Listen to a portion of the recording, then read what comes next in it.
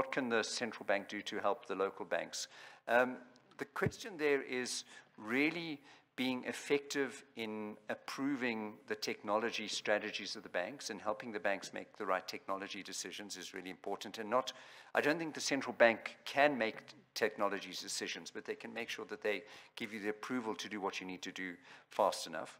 And secondly, what we've seen in many countries is the central banks raise the capital adequacy or the capital, the minimum capital requirements both to make sure that the people who come into the sector come in with real money, and secondly, to make sure that you don't have a lot of very tiny banks trying to compete with, with real banks um, with, with real balance sheets. So I think those are the two measures we've seen central banks taken to, to strengthen the, the sector.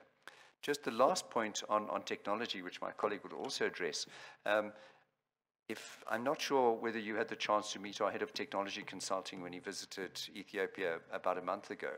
But he said that his experience of talking to the banks here reminded him of the banks about 15 to 20 years ago across Africa. They spent a lot of money buying a core banking system. And we all know how expensive a core banking system is. And they thought, that's it, we've done technology. That's not it. The core banking system that you've spent the last five years fighting with is the tip of the iceberg.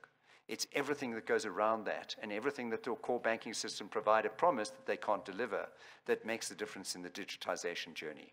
So um, it's not that banks here don't have access to, to these suppliers, and the banks in Kenya are winning using the, the same suppliers that the international banks use.